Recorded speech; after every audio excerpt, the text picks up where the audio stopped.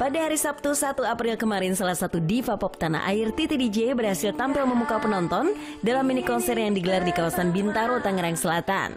Ini bukan konser pertama yang digelar wanita 50 tahun itu. Namun setiap penampilannya mampu membuat setiap penontonnya terhipnotis dengan lagu-lagu yang ia bawakan. Bahkan Titi tampil mempesona dengan menggunakan gaun dan hiasan serupa mahkota berwarna keemasan layaknya sosok Cleopatra.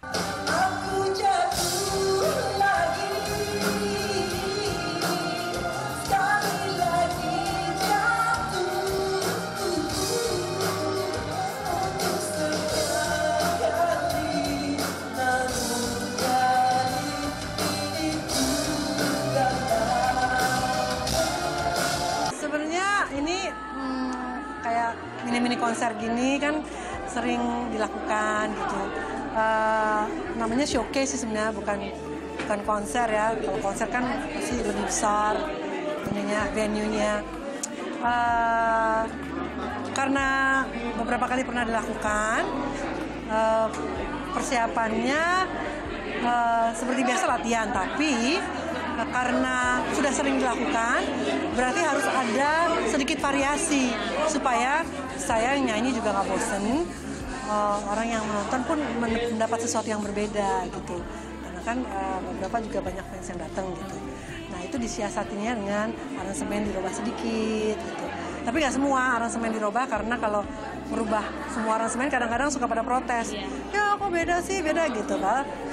Padahal uh, so, uh, showcase kayak gini tuh biasanya potensi, potensi untuk orang singelong. Dari sekian banyak penonton, rupanya ada penyanyi Yuni Syara yang terlihat hadir untuk menikmati penampilan Titi di atas panggung. Bagi Yuni, datang ke setiap konser yang digelar para sahabatnya menjadi agenda wajib yang harus ia lakukan. Lalu apakah Yuni memiliki rencana untuk menggelar konser serupa? Saya kan selalu mensupport teman-teman, teman-teman. Kalau pas saya lagi nggak lagi nggak bekerja, pas ada teman yang konser gitu, uh, apa namanya, uh, insya Allah nonton.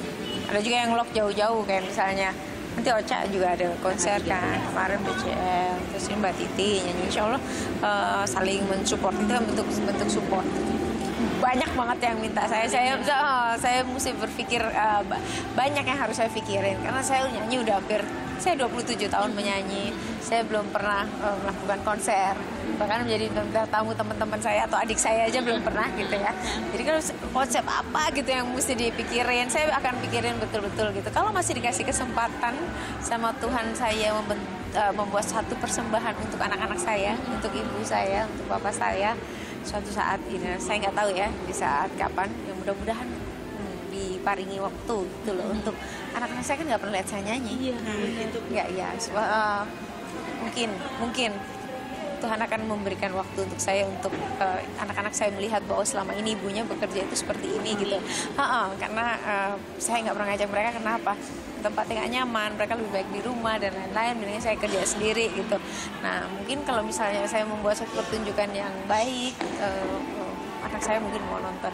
Walau